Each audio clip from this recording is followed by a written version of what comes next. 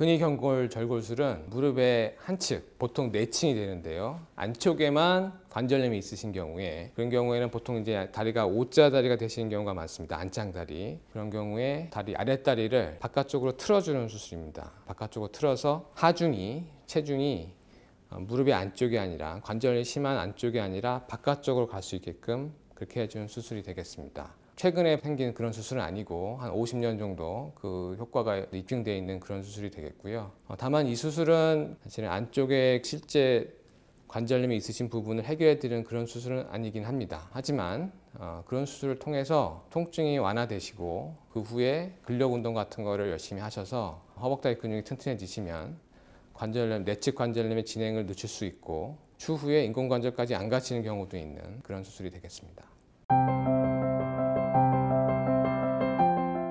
근위경골 절곤술은 한쪽에만 관절염이 있는 즉 내측에만 관절염이 있는 비교적 초기 관절염 상태에서 하시는 수술이 되겠습니다. 관절염이 바깥쪽에도 있고 아니면 덮개뼈랑 슬개골이랑 대퇴골 사이에도 있는 경우에는 사실 해당이 되지는 않겠습니다. 그래서 비교적 좀 젊은 연세 때 많이 하게 되는데요. 50대나 60대 초반 네, 하시게 되고 관절 본인 관절을 바꾸지 않고 치환하지 않고 결국에는 유지하는 그런 수술이기 때문에 활동적이거나 외부 활동 많이 하시는 분들 그런 분들한테 효과적인 수술이 되겠습니다.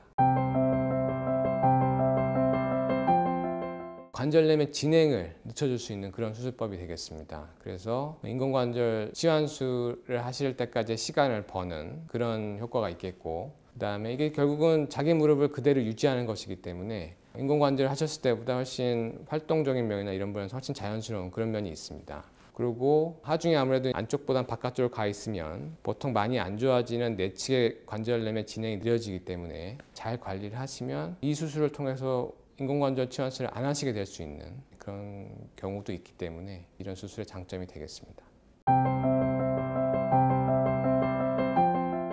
요 모형이 근위경골 절골술 후의 모형인데요. 보시면은 뼈를 약간 일부러 골절을 내서 바깥쪽으로 트는 그런 수술이 되겠습니다. 보시면 이 사이에 틈이 있고 결국에는 잘 딛고 하시려면 이 사이에 이제 뼈가 다 차셔야 되는 건데 일반적으로는 이 고정물로 인해서 바로 딛는 것도 가능하시긴 합니다. 다만 골절되어 있는 상태이기 때문에 조심을 하셔야겠죠. 그래서 한 6주 정도는 수루에 6주 정도는 목발 사용을 권해드리고 있습니다. 뒤지신다고 해서 갑자기 큰 문제가 되시는 건 아니지만 6주는 조금은 조심을 하셔야 되는 게 있고 그다음에 이제 남성분들 같은 경우에 특히 뼈의 유압 같은 거 하는 과정에서 흡연을 하시면 그게 잘 안 이루어집니다. 그래서 금연은 꼭 하실 걸 권해드리고 있습니다. 그리고 아무래도 이제 이런 골절이 돼 있으신 상태이기 때문에 넘어지시는 걸 굉장히 주의를 하셔야 됩니다. 그리고 근위결골 절골술은 무릎 관절염 자체를 해결해 드리는 수술은 아니긴 합니다. 하중을 바깥으로 틀어서 통증을 완화시켜주는 그런 수술인데 수술 후에 근력 운동 같은 걸 통해서 허벅지 근력을 키워주시면